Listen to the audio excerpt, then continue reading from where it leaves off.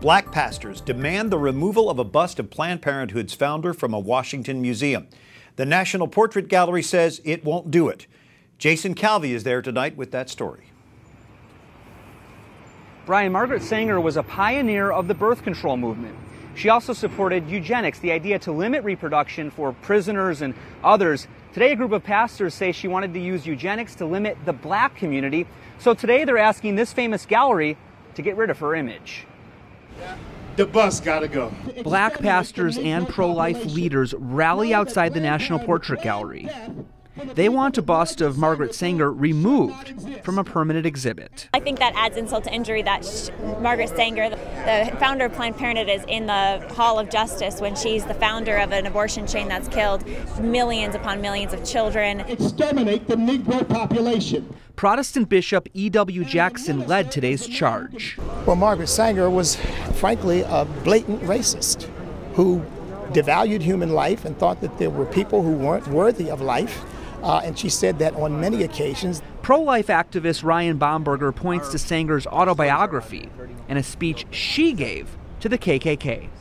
I don't know how you can possibly say someone is not racist that actually speaks at a KKK rally. And try that today. See if that see how that goes for you. The Portrait Gallery says it's their job to tell the American story, which includes Sanger. People who are anti-abortion usually approach the issue from a moral standpoint. Do you believe abortion in the black community is viewed as a moral issue or a political issue? Both. I think abortion in the black community is viewed as both a moral issue and a political issue.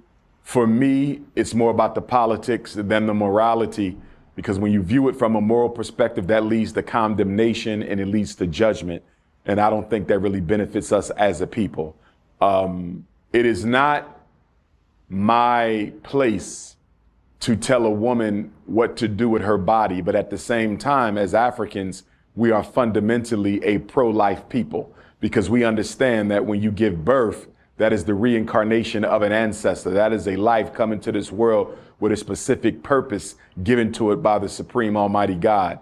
So we have to look at it from the spiritual perspective. You're actually stopping the destiny of the universe and the destiny of the black race by aborting that child. With that being said, if you have a young sister who doesn't have any family support, you have a young sister who's uh, the father of her child isn't interested in being there. He don't want the child. You have a young sister dealing with poverty, and people are constantly telling her that you don't want to have a baby this early. And then you look at the reality that young mothers tend not to graduate high school on time, if at all. Uh, they often tend not to graduate college, if at all. Now, we all know dozens of black women who achieved in spite of, but there's so many thousands more who did not. But I think we have to look at the fact that we have aborted over 3 million babies since the 1970s. I mean, we have to look at the fact that Margaret Sanger and Planned Parenthood International and her Negro Project were all part of the American eugenics crusade to get rid of black life. Uh, it, it's no secret that 75% of Planned Parenthood abortion centers are located within close proximity to black communities. Even when you look at what Planned Parenthood is doing in the Caribbean, what they're doing in Africa, if you look purely at the numbers.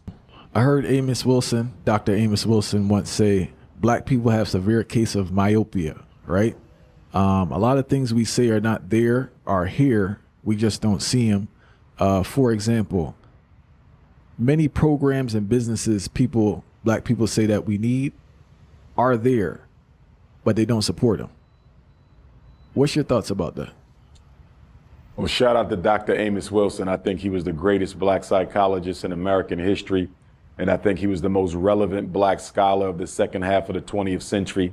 And like myself, uh, he was a doctor of clinical psychology and a Garveyite Pan Africanist. I do believe that we have many institutions and businesses that are not getting the support that they should as black people complain about the need for them. But at the same time, when we're talking about the critical institutions, the banks, the hospitals, the schools, the supermarket, the distribution and manufacturing, I don't believe we have nearly as much as we should. You know, for example, you take the hospitals. We owned and controlled over 500 hospitals in American history. That's nearly one per year. You can hardly find them now. We only have about a handful of black hospitals. Independent schools, truly independent, that operate inside of a traditional school building, not in somebody's basement or kitchen table, you're probably looking at three dozen. Uh, if you look at truly black owned banks, you probably may have about two or three dozen of those. So when you look at the critical institutions, we do have black farmers, but we don't have a network and a relationship between the black farmers and the black communities to get their produce out to us. And of course, we don't have the supermarkets to sell that produce on a regular basis.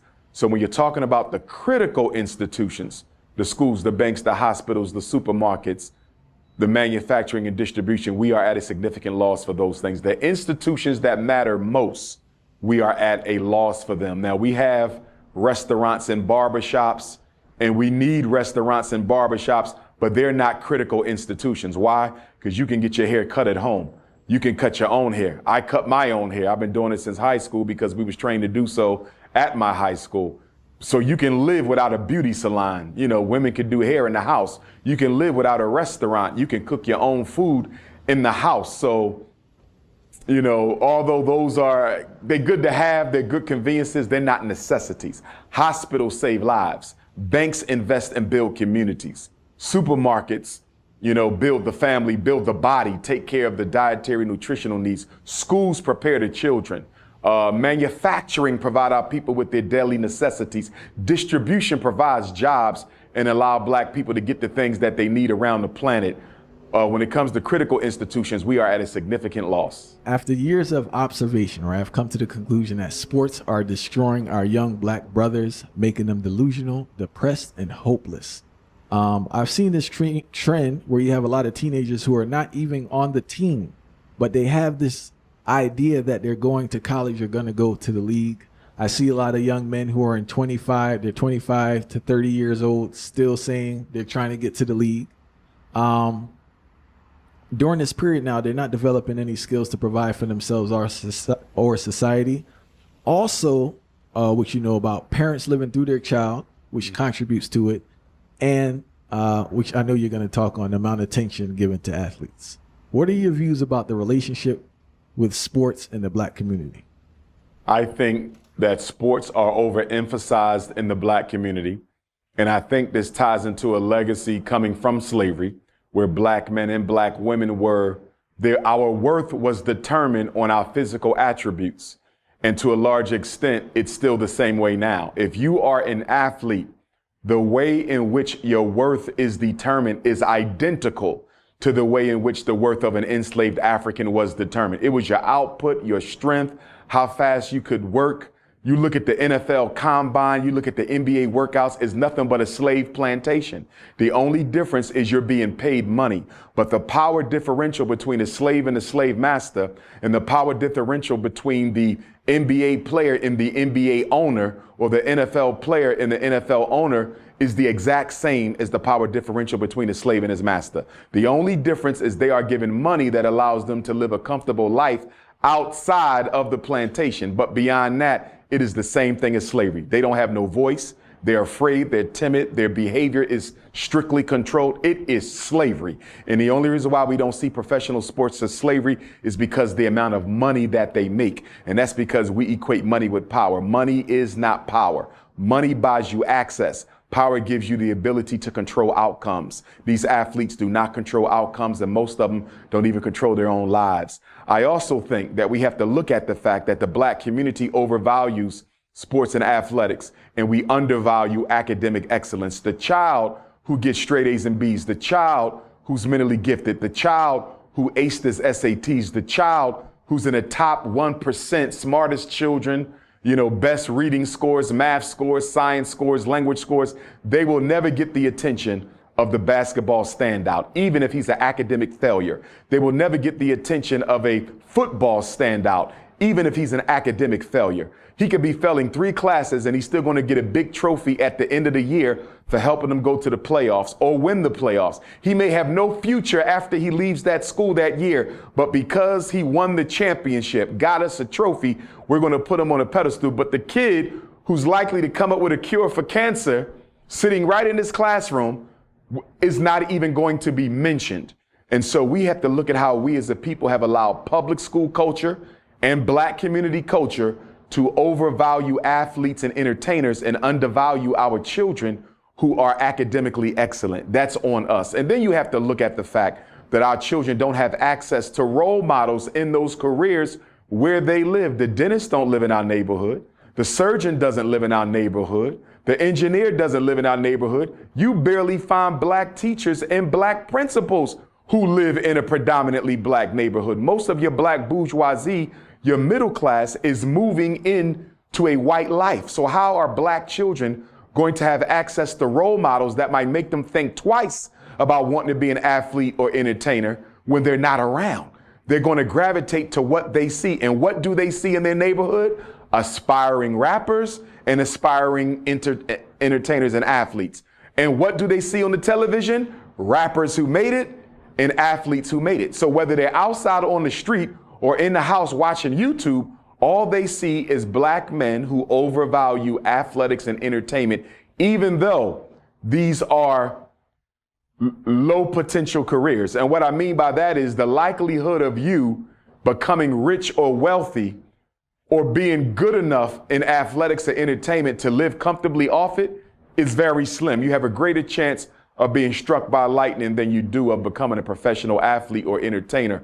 But no one's telling our children this. And this is one of the reasons why I believe we need to bring the industrial building trade programs back into our communities. Because I do believe that even if he wants to be a rapper, even if he wants to be a basketball player, if he doesn't make it, and he's a licensed plumber, a licensed electrician, a licensed welder, a licensed auto mechanic, a licensed HVAC contractor, he can still live a decent life for himself. But right now, black boys in inner city schools are only given three options go into the military, become an athlete or an entertainer, or go to jail. And Umar, I want to touch on three things before we move on. First thing is this in regards to basketball, I can speak about, right? I think there are about a quarter million high school boys, seniors in the country. There are only like a thousand something spots. Out of that thousand spots, you have JUCO players coming in. That's probably going to take 200 or 300. Mm-hmm. You have overseas players. So let's just say there's 600 spots for a quarter million people.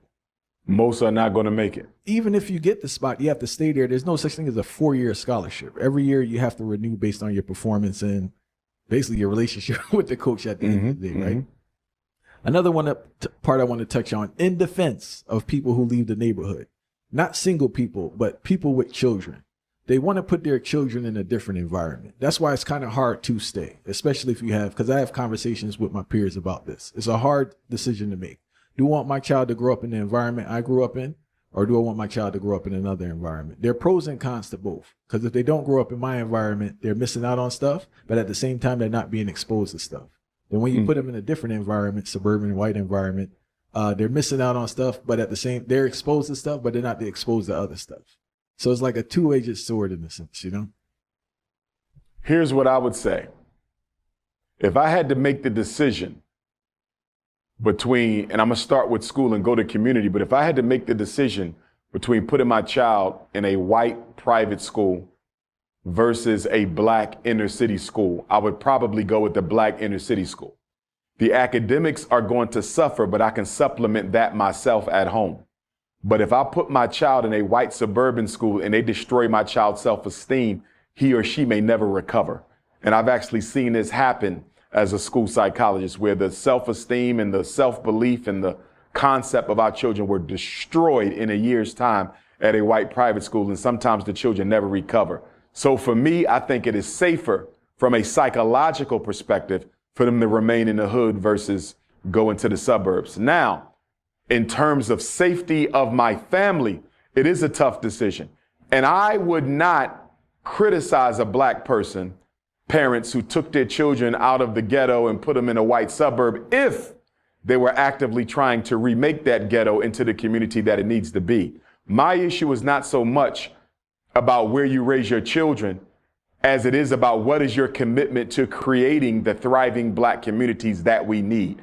To move out and turn your back on the black community, that's an insult. But if you say, I'm moving out because I cannot afford for my daughter to be snatched up and I can't afford for my son to be murdered senselessly, but I'm still in the community playing my role for the children and I'm doing whatever I can to fight against gentrification and homelessness and crime and, and high school dropout. I can respect that because although your family does not sleep in the hood, you are still active in the hood. I can respect that. But a lot of what I see are black families who abandon the black community totally once they get out into the white suburb. And we got to keep in mind, you can be abducted in the suburb just like you can be abducted in the ghetto. You can be killed in the suburb just like you can be killed in the ghetto. So a black man and woman are safe nowhere in America. But again, I can understand that move to the suburbs for the babies. I can understand it. But you yourself should never abandon the community. And I, and I, I respect that, right?